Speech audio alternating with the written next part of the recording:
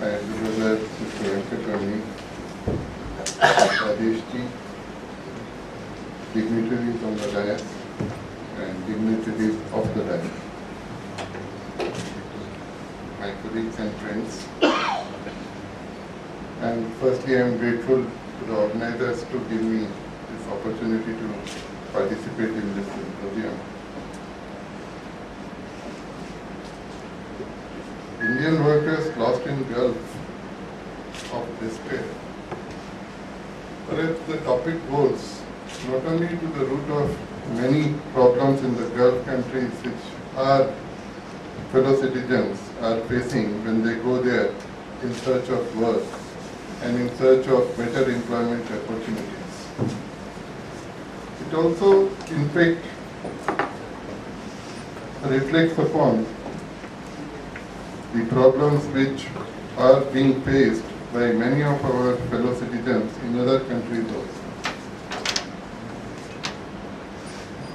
See, when a person, when we are here in Supreme Court, we find many of our colleagues who come from different states of India, come here in Delhi, where you see they have their fellow citizens, brother citizens here. Still at times they find lot many difficulties.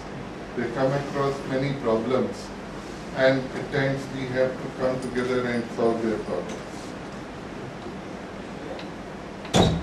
When you are going thousands of miles away from your country and at times in small places when you go to work, you may not be finding any fellow citizen in, in or around you. There are reports of violation of basic human rights and basic human concepts received from various parts. So the issue is how to how to address those basic human right violations being inflicted upon our on our fellow citizens by the employers in other countries.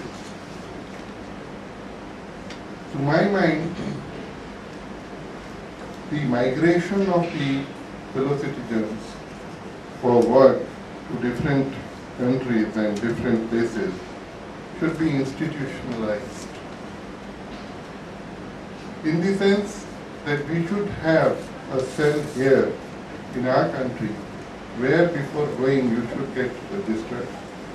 And in different countries we should have in our missions uh, either an officer or a cell where upon reaching there first they should be registered and from time to time if they face any problem they can report that. In which event the mission can take up those problems with the with that country or the state.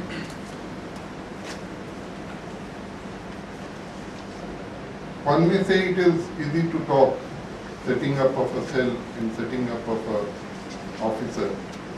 But at times, a worker may not get opportunity to reach that cell or that uh, uh, officer.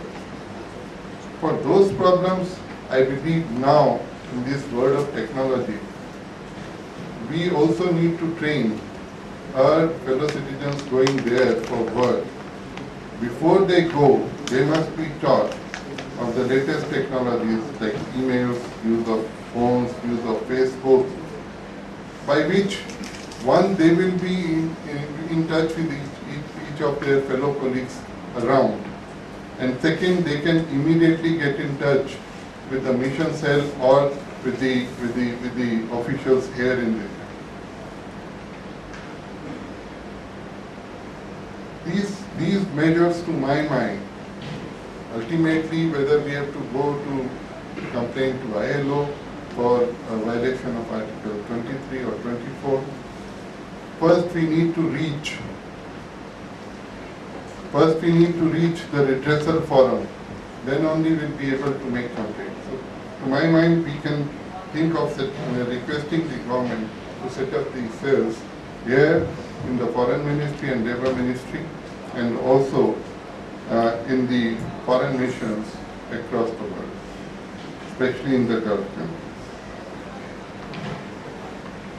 there can't be any denial that wherever and whosoever wants to work, whatsoever religion he wants to profess, whatsoever civil liberties which are available under our constitution or the basic concept of humanity should not be denied to anybody anywhere in the world. That concept, if it is violated, if it, if it is violated, should be brought to the notice of our government and I have no doubt that the government will take up the matter to the respective court.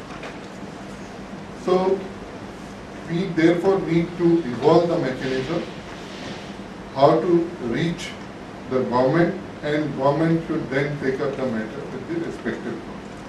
Wherever these instances have been brought in the past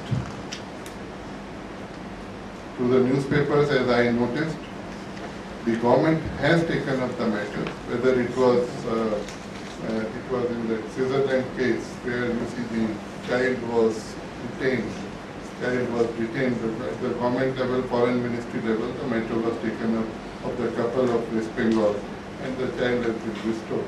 So I have no doubt uh, that if, if, if in the beginning this system is not available, this organization can lend uh, number to all those workers uh, working in the Gulf country whom they can contact and if the grievances are there, then I have no doubt Rajesh Gogna ji and the, the, the office bearers of the uh, HRDI will definitely bring it to the notice of the government and government will take up the matter with the respective.